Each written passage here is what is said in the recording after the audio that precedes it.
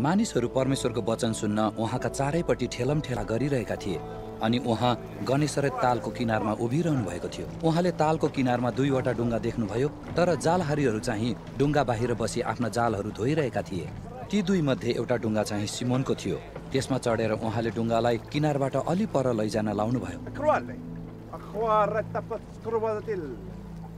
उहाँले डुङ्गामा बसेर भिडलाई शिक्षा दिन लाग्नुभयो. बोलिसक्नु भएपछि उहाँले सिमोनलाई भन्नुभयो गहिरोतिर लगेर माछा पक्रनलाई आफ्ना जाल हान। तर सिमोनले भने गुरुज्यू हामीले रातभरि मेहनत गरेर पनि केही फेला पारेनौँ। तापनि तपाईँको वचन अनुसार म जाल हान्नेछु। अनि जब त्यसो गरे तब तिनीहरूले एक थुप्रो माछा पक्रे र तिनीहरूका जाल फाट्न लागे। तिनीहरूले अर्को डुङ्गामा भएका साझेदारहरूलाई आएर सहायता गर्ने इसारा गरे र आएर तिनीहरूले दुवै डुङ्गा माछाले भरे। यहाँसम्म कि डुङ्गाहरू डुब्न लागे। तब यो देखेर येसुको पाउमा घोप्टो परि सिमोन पत्रुसले भने हे प्रभु मबाट जाइ जानुहोस् किनभने म पापी मानिस हुँ। यतिका माछा पक्रेको देखेर तिनी र तिनको साथमा हुनेहरू सबैले साह्रै अचम्म माने। त्यसै गरी जब्दियाका छोराहरू याकुब र युहन्ना पनि छक्क परे। तिनीहरू सिमोनसँग साझेदार थिए। येसुले सिमोनलाई भन्नुभयो न डराऊ अब उपरान्त तिमीले मानिसहरूलाई पक्रनेछौ। अनि जब तिनीहरूले आफ्ना डुङ्गाहरू पाखामा ल्याए तिनीहरूले सबै थोक त्यागे र उहाँको पछि लागे।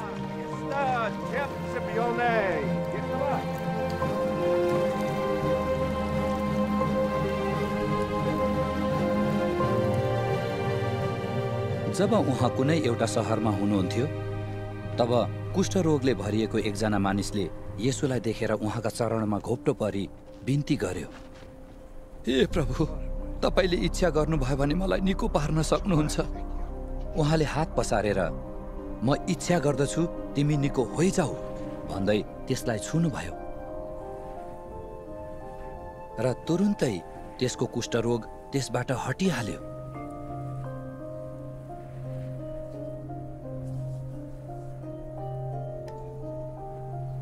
उहाँले तिनलाई आदेश दिनुभयो। यो कसैलाई नभन तर गएर पुजारी कहाँ आफैलाई देखाऊ र मोसाले आज्ञा गरे बमोजिम मानिसहरूलाई तिमी निको भएको प्रमाणको निम्ति भेटी चढाऊ।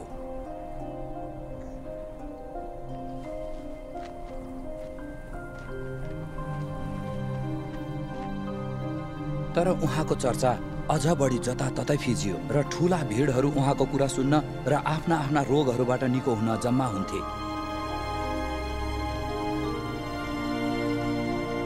तर येसु चाहिँ निर्जन स्थानहरूमा गएर प्रार्थना गर्नुहुन्थ्यो।